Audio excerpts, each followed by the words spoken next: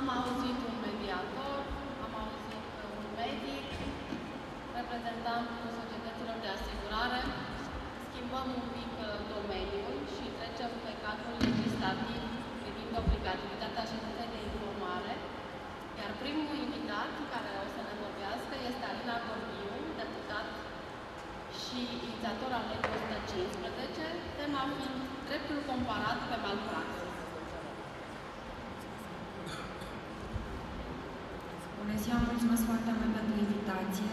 Sunt aici atât în calitate de mediator uh, și uh, subiectul mie mi se pare extrem de important. Îmi pare foarte rău că uh, sunt puțini medici în sală. Mă bucur că sunt câțiva asigurători. Mi-aș fi dorit să fie mult mai mulți reprezentanți colegi de dumneavoastră, domnule doctor, uh, pentru că de principiu sau în principiu lor ne adresăm cu această dezbatere și lor ne adresăm și cred că ar trebui să-și uh, gestioneze aceste aspecte în favoarea uh, profesiei pe care o desfășoară. Ca atare, în momentul acesta, stimați colegi, pentru că mai bine în trei sferturi sunteți mediatori în sală, uh, în momentul acesta, după cum știți, cadrul legal în domeniul răspunderii pentru malpraxis praxis este titlul 4 din legea 90, titlul 15, scuze, din legea 95 pe 2006 privind reforma în domeniul sănătății. Iar definiția dată de uh, articolul 664 aliniatul 2 litera B din legea 95 pe 2006 spune așa, e o eroare profesională săvârșită în exercitarea actului medical sau uh, medico-farmaceutic generatoare de prejudicii asupra pacientului, implică răspunderea civilă a personalului medical și a furnizorului de produse și servicii medicale, sanitare și farmaceutice. Evident că această definiție cu care suntem noi obișnuiți, cu care uh, cadrele medicale sunt obișnuite și legiuitorul se pare că obișnuit, ar trebui să uh, se modifice și am convingerea că Ministerul Sănătății va modifica ușor, pentru că în majoritatea statelor europene, termenul de malpraxis are evident o semnificație mult mai extinsă și uh, se referă definiția din statele europene inclusiv la ipoteza în care medicul nu informează pe pacient în mod corespunzător, în care uh, nu îl informează cu privire la ce va consta operația, cum vor fi făcute analizele, care sunt efectele analizelor sau medicației pe care o administrează, dacă există alte metode prin care poate să gestioneze actul medical și așa mai departe.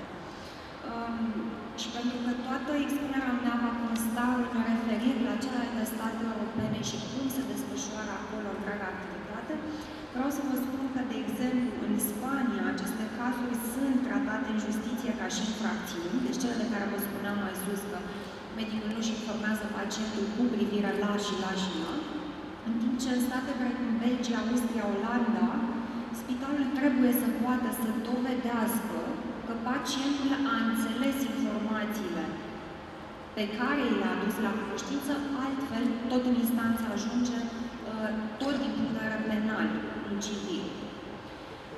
Acum, revenind la România, de regulă, plângerile formulate pe cauze de malpraxis, ce credeți că au la bază? Au la bază erorile care au survenit în cadrul examinării, a diagnosticării sau în cazul tratamentului pacienților.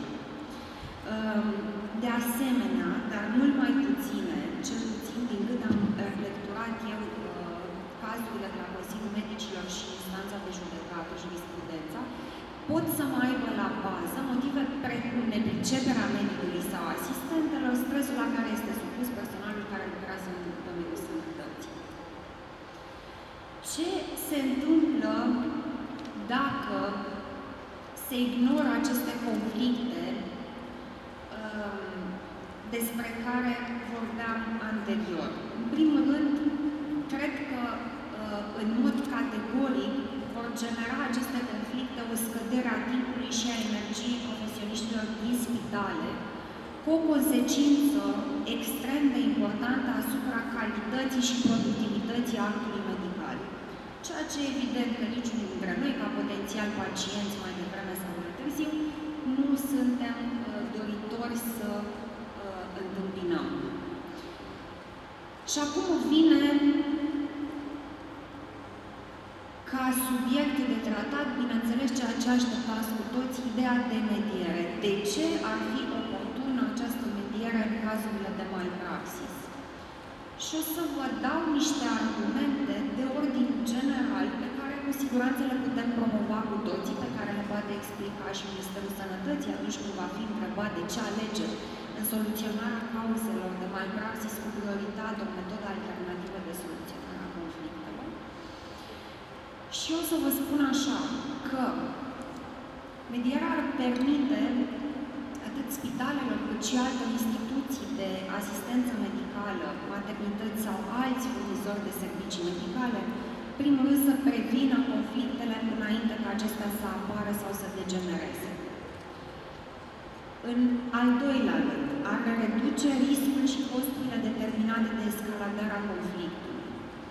S-ar discuta în acest fel și s-ar rezolva înainte de acumularea de costuri, onorarii avocațiale și alte taxe, problemele dintr-un anumit moment. S-ar dezvolta cu cheltuieli minime aceste mecanisme de soluționare în afara instanțelor de judecată. S-ar identifica și s-ar remedia acele cauze generatoare de conflicte. Să nu vă imaginați că doar cauzele, când spun cauze de malpraxis, uh, nu mă refer doar la faptul că a uitat doctorul în stomacul pacientului niște benze. Nu.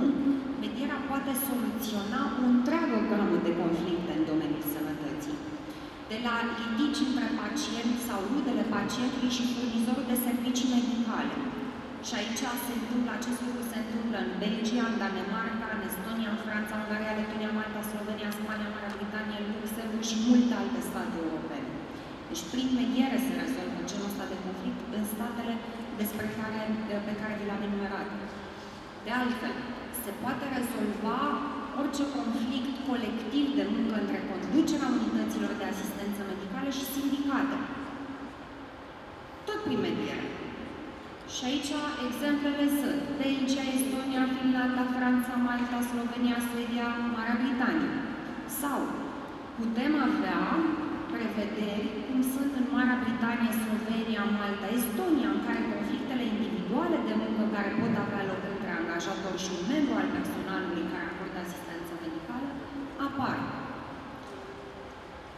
Altă situație, rezolvarea conflictelor între membrii personalului care asigură asistența medicală, potriviți în echipe de lucru și secțiile respective. Da? Iarăși, acesta este un aspect soluționat prin mediere în statele europene.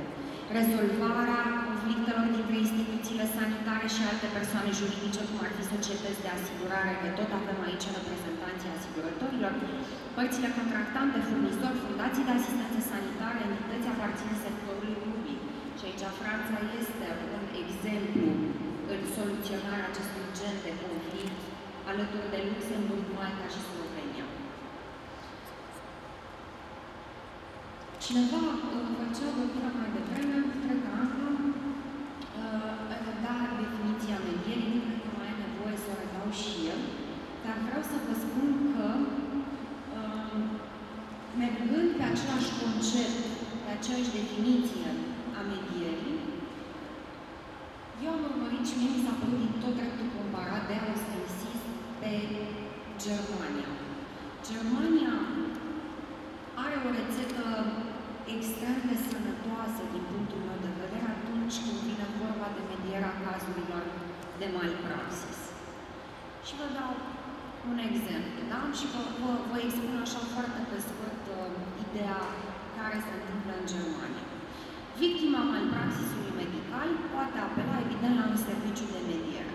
Dacă, dacă centrul respectiv de mediere, organizația care gestionează procedura medierii acolo, consideră că există o vătămare pentru care medicul este responsabil, victima poate apela la asigurătorul de răspundere profesională. În 85 de cazuri, în 85% din cazuri, acestea sunt statisticile oficiale ale minților, în 85% din cazurile de malpraxis, situația se tranșează între pacient și uh, unitatea sanitară, medicul respectiv, pe baza opiniei centrului de mediere. 15% din cazuri, adică diferența, se soluționează în instanța de judecată, unde instanța dă o hotărâre care de regulă urmează soluția dată de centru de mediere. Deci până și în acele 15%, opinia centrului de mediere are greutate în majoritatea covârșitoare a soluțiilor instanței. Conform acestei practici, majoritatea cazurilor de malpraxis medical se soluționează în afara instanței, fie imediat, fie după, centru, după ce centrul de mediere a exprimat o opinie. Uh, centrele de mediere sunt asistate de asociații medicale de stat, pentru că am întâlnit mai devreme opinia unui vorbitor că e posibil să nu se priceapă uh, mediatorii la toate aspectele și să fie nevoie să apeleze și la specialiști. Evident că în orice mediere, să nu uităm, în orice mediere se poate apela la avocați, iar eu încurajez lucrul ăsta, se poate apela la specialiști, la experți, la consultanți fiscali, nu ne, nu ne împiedică nimeni să obținem și nu e rușinos deloc să obții opinia unui specialist într-un anumit domeniu. Centrele de mediere, așa cum vă spuneam, din Germania sunt asistate de asociații medicale de stat, care sunt organizații independente ce se bucură de mult respect și generează, evident, opinie independentă. Sunt curioasă cum ar funcționa la noi și câtă greutate ar avea această opinie, pentru că la noi independența este mai, un cuvânt mai puțin uh, cunoscut. Așa. Personalul centrelor de mediere este asigurat de uh, specialiști, iar evaluările sunt adesea efectuate, și aici probabil nu o să ne placă, dar vă spun cum este uh, în Germania, specialiștii intrează de principiu pro bono, sunt medici voluntari. Uh, asta, nu, asta nu înseamnă că trebuie să preluăm tot, evident. Eu nu cred în, cred în voluntariat atunci când ți-l dorești. Nu cred că în fiecare zi trebuie să faci voluntariat și cred că un om, ca să presteze o activitate de calitate, trebuie să fie remunerat pe măsură. Bun. Ca atare, medierea reprezintă la oamenii ăștia care sunt bine poziționați la orice capitol în Europa și nu numai, o alternativă atât sub aspectul prevenirii, cât și sub aspectul soluționării conflictelor din domeniul medical, această procedură finalizându-se ca în orice mediere din orice domeniu cu un acord care presupune acea soluție de câștig-câștig. De ce credeți că ar trebui să spunem că medierea în cazurile de malpraxis reprezintă o soluție ce generează avantaje pentru toate părțile. Pentru că ajută la refacerea în mediul public, dar și în relația directă. Ajută la refacerea relației de încredere între medic și pacient. Sau cel puțin, dacă nu își repară pacientul relația de încredere față de medicul respectiv, ajută la repararea relației de încredere între pacientul respectiv și sistemul ansamblu, sistemul sanitar. Pentru că, ferească Dumnezeu să trecute unul dintre noi prin cazul din astea și nu doresc să fie nimeni în sală, dar credeți-mă că după ce a trecut un pacient prin nefericirea unui caz de malpraxis, are o problemă cu întreg sistem, nu doar cu medicul respectiv și se teme de întreg sistem. Ăsta e motivul pentru care cred că este foarte bine să menționăm acest avantaj ca și cap de afiș. În al doilea rând, cred că ideea de confidențialitate este un aspect extrem de sănătos.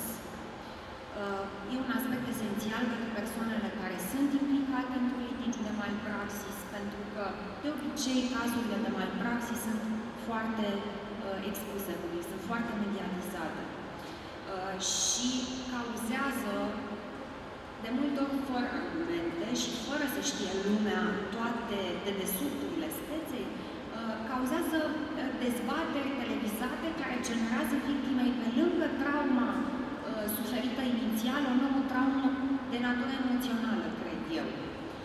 De asemenea și medicului care este subiectul acestor dezbateri, expuneri publice, cauzează prejudicii de imagine majore. Și atunci, ideea de confidențialitate s-ar putea să fie cuceritoare, mămuritoare pentru părțile implicate și pentru legiuitor, de ce nu? Eu, eu chiar cred că ați spăla uh, rufele murdare în spatele ușilor uh, înseamnă mare lucru și un semn de civilizație pentru toată lumea în general. Um, de asemenea, argumentul timp este fundamental. Nu uitați că astăzi a soluționa un caz de malpraxis înseamnă muncă decisiv, câte etape, câtă procedură, cam cât durează să, ajunge, să ajungă instanța la o soluție, cât doar mintea. Um, cuantumul despăgubirilor. Nu vreau să vă nimic de cuantum, doar că dacă mergi la un mediator, cuantumul se stabilește de comun acord. Și soluția, în general, este stabilită de comun acord. Gândiți-vă că o instanță întotdeauna va face nefericit fie pe medicul respectiv, va face nefericit fie asigurătorul, va face nefericit fie uh, pacientul. De ce să ajungem la soluția asta? De ce să ajungem la situația în care cineva în mod clar va plânge sau poate să ne mulțumim de ambele părți? E mult mai simplu să agrezi acolo în camera să zic, camera verde, nu știu, într-o cameră unde se desfășoară procedura de mediere, să agrezi soluția și cuantumul despăgubirilor. Bun. Acum, aș vrea să uh, vă spun despre părțile Pot apela la procedura medierii pacienții, succesorii în drepturile pacienților în caz de ferească Dumnezeu deces, precum și toate persoanele pentru care se poate stabili răspunderea civilă sau penală, da? de la personal medical, unitate sanitară, producător de echipamente și dispozitive uh, medicale, substanțe medicamentoase și așa mai departe. Legea, legea noastră, legea noastră de organizare și funcționare 192 pe 2006, modificată și completată, știți mai bine ca mine, are un articol 60 indice 1, care obligă părțile ca în cauze de malpraxis, obligă părțile, le obligă. Invită părțile ca în cazurile de malpraxis să participe la o ședință de informare care este obligatorie uh, cu privire la uh, avantajele, dezavantajele acestei proceduri. Da? Sancțiunea aplicată conform legislației în vigoare, în cazul în care nu se prezintă la ședința de informare cei care sunt părți la un caz de malpraxis este, după cum știți, inadmisibilitate. Doar cu ordonanța 4 pe 2013, când a fost făcută o presiune teribilă uh, ca să se ajungă la acest moment, a amânat aplicarea sancțiunii până la data de 1 august, anul curent. Și poate nu toți din sală știți, dar la acest moment legea de aprobare a ordonanței a fost aprobată de Senat, exact în forma în care a fost trimisă de la Ministerul Justiției, fără modificări, se află acum în Camera Deputaților pentru dezbatere și eu uh, voi face tot posibilul ca aceasta să nu fie modificată nici la Camera Deputaților, să avem într-un final în august inadmisibilitatea ca sancțiune, pentru că oricât îmi iubesc semenii, oricât am să cred în buna credință a tuturor din jurul meu, inclusiv în buna mea credință. Uh, cred că până nu vom avea o minimă sancțiune, cum este cea de inadmisibilitate, atașată la o instituție, cum este ședința de informare obligatorie, cred că efectele vor fi mult mai mici. Bun, acum, uh, finalul uh, mă face să vă spun încă două fraze despre litigiile de malpraxis care pot lua forma uh, unor infracțiuni. Și aici cu asta termin. Dar cred că e un aspect uh, pentru care, într-adevăr, va trebui noi, ca mediatori, să fim foarte pregătiți din punct de vedere profesional și nu aș uh, um, ignora deloc. Aici chiar aș vedea obligativitatea avocatului și a experților. Dar, uh, evident, rămâne la atitudinea părților și a mediatorului, mediatorului în cauză. Deși litigiile de malpraxis pot lua această formă a infracțiunilor și sunt cazuri de ucidere din culpă, de vătămare corporală din culpă și alte cazuri, da? Obligația părților de a participa la ședința de informare în domeniul acestor caz, cauze de malpraxis are în vedere doar latura civilă, da? Nu și latura penală. Vă rog din suflet să nu facem confuzia și să nu mergem într-o direcție uh, care va genera alte sau un alt scandal public, că nu avem nevoie. Deci ne ocupăm doar de latura civilă. Articolul 2 aliniatul 1 indice 2 din legea 192 pe 2006, modificată prin legea 115 și prin ordonanța 90, folosește termeni foarte clar, precum reclamant instanțe în admisibilitate și se referă doar la 60 indice 1 aliniatul 1, literele A, F din lege. Poate un pic tehnic, dar vă rog să vă aplicați acestui aspect, asupra acestui aspect, ca să nu generăm belele. În această situație, dacă persoana vătămată se constituie parte civilă, în cadrul unui proces penal, obligația de a participa la ședința de informare în materie civilă nu există atâta timp cât instanța penală este investită cu soluționarea acțiunii civile. Da? Dacă partea lege să introducă o acțiune civilă separat, indiferent din ce motiv, acesta va trebui să participe la ședința de informare. Bun. Cred că asta, de fapt, ar fi ce vreau eu să vă spun în, în privința noi legi uh, a malpraxisului. Eu sunt uh, mai mult decât încântată de poziția Ministerului Sănătății și mulțumesc uh, și domnului director și domnului secretar de stat pentru intervenție, pentru că pentru mine au fost lămuritoare aspectele care subliniau că factorul guvernamental a înțeles, ba chiar va transpune textul de lege, um, faptul că e nevoie de mediere în cazul de malpraxis. Și mai am o rugăminte la dumneavoastră, pentru că e păcat să, să participați la asemenea dezbateri dacă nu facem și follow-up. Gândiți-vă că în 10 zile, l-auzeam pe domnul Rapadier la o conferință de presă, în 10 zile, aproximativ 10 zile, se va pune în dezbatere publică proiectul. Îl vom găsi cu toții pe site-ul Ministerului Sănătății. Haideți să facem și noi act, un, un act civic normal, firesc, pentru că atunci când vine vorba de legi care ne afectează, chiar trebuie să participăm la elaborarea lor, să ne uităm peste textul de lege atunci când va 30 de zile în dezbatere publică pe site și să încercăm să ne aducem aportul la îmbunătățirea acelui text de lege. Oamenii ne-au întins o mână astăzi, ne-au întins o mână acceptând să îmbunătățească legea conform legislației europene. Dar cred că și noi ar trebui să venim cu opiniile noastre în sprijinul îmbunătățirii ei. Vă mulțumesc foarte mult și scuzați-mă dacă a durat mai mult decât vă așteptați.